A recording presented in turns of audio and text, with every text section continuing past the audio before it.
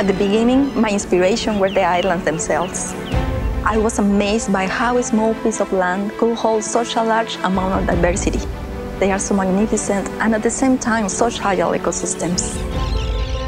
The islands of Mexico and their surrounding seas provide crucial breeding and foraging habitat for one third of all seabird species worldwide. Project Director Yuliana Bedolla and her team at Conservación de Islas work tirelessly to conserve these unique islands. Millions of storm petrels of three different species fly and call all over the islands. You can hear the rapid movements of their wings. The nocturnal seabirds are so mysterious. They visit the islands only at night when they are breeding in burrows or among rocks, so they are very difficult to see. I feel it's my duty to protect them. In the past, several island seabird colonies were decimated by invasive mammals. But thanks to Yuliana and her team, San Benito Oeste and Natividad Islands, among 23 others, are now invasive mammal-free, with previously locally extinct seabird populations recovered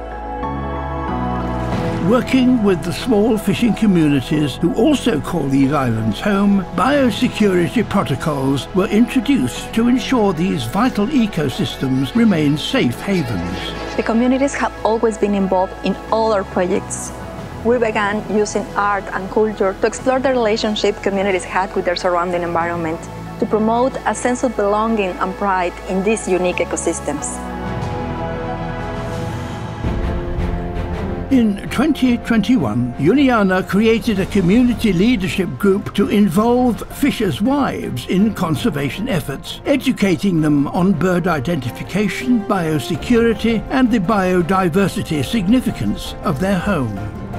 With the Whitley Award funding, we will continue to monitor the breeding success of these nocturnal seabirds while building up local capacity to ensure invasive species don't return to the islands. By training new community members and collaborating with fishing cooperatives, Yuliana and her all-female team will work towards a sustainable future where local people can lead on the protection of their islands. For conservation to succeed, the local communities must be empowered as stewards of their land and resources.